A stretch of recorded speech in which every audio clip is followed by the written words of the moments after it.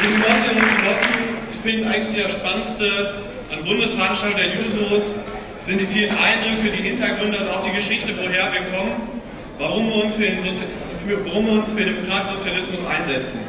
Wir haben eine neue Vorsitzende aus einer sozialdemokratischen Familie, mitten aus Niederbayern. Gestern, gestern habe ich mit einem Genossen unterhalten, der äh, aus einer CDU-Familie kommt und sich für unsere Sache einsetzt. Ich meinerseits komme aus Hamm in Nordrhein-Westfalen, genauer in Hessen, genauer aus Hessen, wo ich seit diesem Jahr SPD-Ortsvereinsvorsitzender bin. Hessen ist der Ort,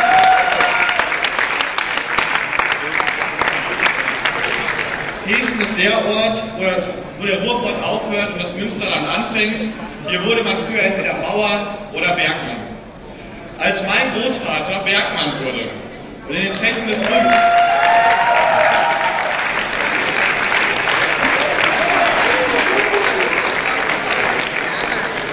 Ich freue mich so sehr über das Saarland, dass er fleißig mitklatscht.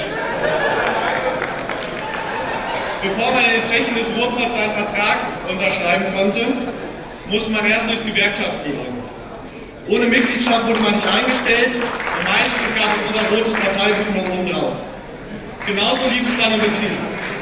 Ohne die Zustimmung der Belegschaft ging nichts. Der Lohn war gut, der Job sicher und die Rente mehr als auskömmlich. Und trotz oder gerade wegen des gefährlichen Berufs unter Tage die Solidarität untereinander grenzenlos. Heutzutage ist das andersrum. Im globalisierten Finanzmarktkapitalismus ist kein Platz für langfristige, sichere Entwicklung. Es geht um schnelle Profite für die Shareholder, also die Anteilseignerinnen. Es geht um Finanzprodukte, Versicherungen und die Wetten, ob eine Aktie steigt oder sinkt. Schon heute übersteigt der Handel mit Finanzprodukten die Warenproduktion das 70-fache. Und trotz gegenläufiger Tendenzen haben wir weiterhin einen Mainstream des Privat vor Staat.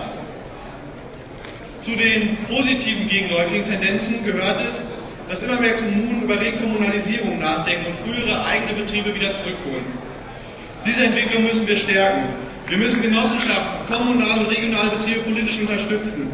Wir brauchen Unternehmen, die am Gemeinwohl orientiert arbeiten. Das gilt nicht nur für Stadtwerke, Wohnungsbaugesellschaften oder im ÖPNV, sondern ganz besonders auch bei Banken und Energieunternehmen, liebe Genossinnen und Genossen.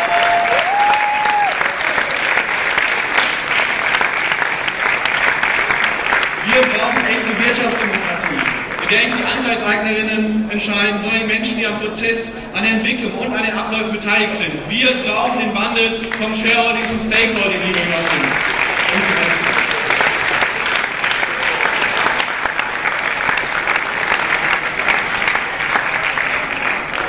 Ich kandidiere heute als stellvertretender Bundesvorsitzender der Jusos, weil ich in den kommenden zwei Jahren mich dafür einsetzen möchte, wie für uns sozialistische Wirtschaftspolitik aussieht. Und ich möchte mich im Projekt Transformation der Wirtschaftsweisen für eine nachhaltige Wirtschafts- und Industriepolitik einsetzen, gerade im Hinblick auf die Energiewende. Wir, liebe Genossinnen und Genossen, wissen, dass Ökologie und Ökonomie kein Widerspruch sind. Wir wissen, dass in den Ausbau der erneuerbaren Energie und neuer Speicher, Mobilitäts- und Energietechnologien ein enormes Wirtschaftswachstum schlummert. Wir wissen, dass auch in den Städten des Strukturwandels in ganz Deutschland die Steigerung der Energieeffizienz in Industrie, Unternehmen, im Bau und im eigenen Haushalt Chancen für neue Jobs stecken. Im Gegensatz zum Koalitionsvertrag wollen wir die Energiewende gestalten, liebe Genossinnen und Genossen.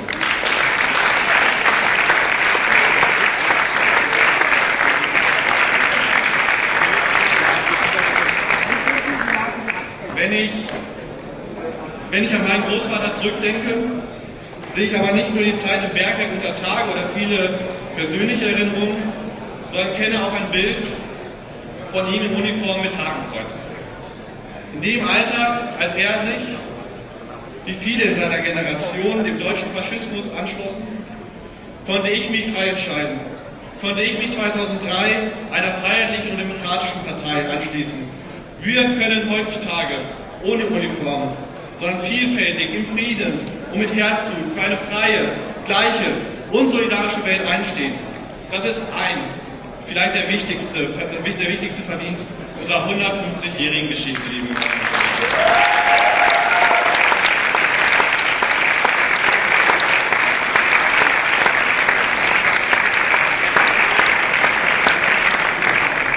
Es wird immer ureigene Aufgabe der Sozialdemokratie sein, sich all jenen in den Weg zu stellen, die wieder dem Faschismus, Rassismus und Antisemitismus den Weg bahnen wollen. Ich war sieben Jahre Juso in Hamm, unterwegs in NRW und im Bundesverband und habe in dieser langen Zeit leider mehr Berührungspunkte mit den, deutschen Neofaschistinnen erleben müssen als mit IPIS. Es bleibt eine und auch meine tägliche Arbeit in Hamm, Dortmund, Dresden und anderswo, antifaschistische Strukturen zu unterstützen und Widerstand gemeinsam mit vielen anderen zu organisieren. Widerstand gegen die extreme Rechte, Wahlkampf gegen Rechtspopulistinnen von AfD und Co., Aufklärung gegen die deutschen Zustände, die gruppenbezogene Menschenfeindlichkeit, den tiefsitzenden Rassismus und Antisemitismus in der Mitte der Gesellschaft.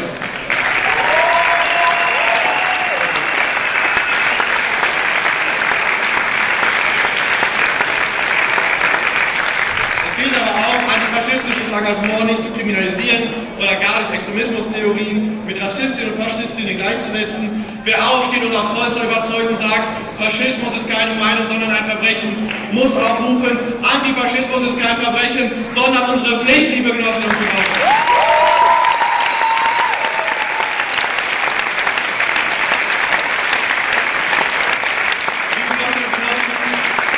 Seit zehn